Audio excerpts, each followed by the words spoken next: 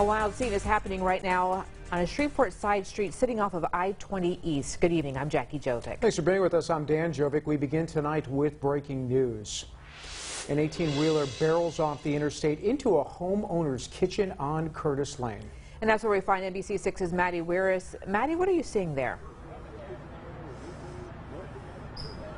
Well, guys, it's the night before Thanksgiving, and what are the odds that an 18-wheeler Amazon truck crashes into this family's kitchen area of their home? I'm going to step out of the way so you could take a look at the damage.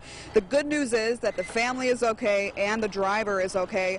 So this is what happened. The truck blew a tire going eastbound on I-20, and residents standing outside could even hear the tire pop from the interstate. So the truck came through the wooded area of the interstate into this neighborhood, and right now the fire department is checking out to make sure no gas lines or power lines were hit. And the good news is, again, no one was hurt, no one was injured. That's that's the bad news. And also the bad news is it's going to be a little bit more difficult to cook that Thanksgiving turkey in this family's home. Reporting live in Shreveport, I'm Maddie Weiris, NBC6 News.